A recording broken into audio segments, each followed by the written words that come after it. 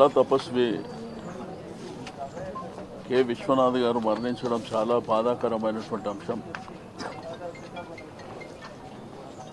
ఈరోజు తెలుగు చలనచిత్ర పరిశ్రమనే కాకుండా భారతదేశంలో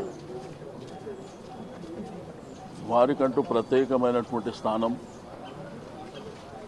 కళల పట్ల కళాకారుల పట్ల సామాజిక స్పృహ ఉన్నటువంటి గొప్ప వ్యక్తి.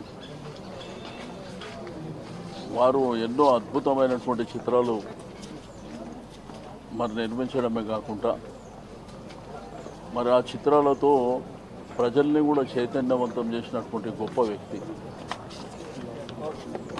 వారికి కులమత రహిత సామాజిక స్పృహ ఉండాలి అనేటువంటి ఉద్దేశంతోనే ఒక సందేశాత్మకమైనటువంటి చిత్రాలని నిర్మించడం శంకరాభరణం ఒకసారి ఆలోచన చేస్తే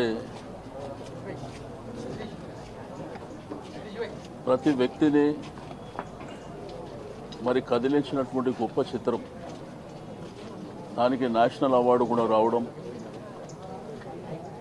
ఆ తర్వాత సిరివెన్నెల కానివ్వండి స్వాతిముత్యం కానివ్వండి స్వయం కృషి శృతిలయలు స్వర్ణ కమలం ఈ విధంగా గొప్ప చిత్రాలను నిర్మించినటువంటి గొప్ప వ్యక్తి. చాలామంది చలనచిత్ర పరిశ్రమలో చాలా చిత్రాలు చూస్తుంటాం కానీ మరి ఇటువంటి మహనీయుడు గొప్ప వ్యక్తి వారికి పద్మశ్రీ అవార్డు రావడం ఆ తర్వాత దాదాసాహెబ్ పాల్కే అవార్డు రావడం రఘుపతి వెంకయ్య అవార్డు కూడా రావడం. అంటే ఇవన్నీ ఏంటంటే వారు నిర్మించినటువంటి గొప్ప చిత్రాలు.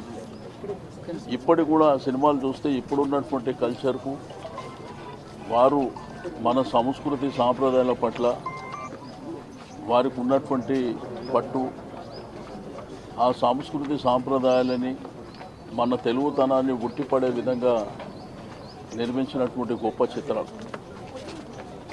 ఇప్పుడు ఈ జనరేషన్ లోపల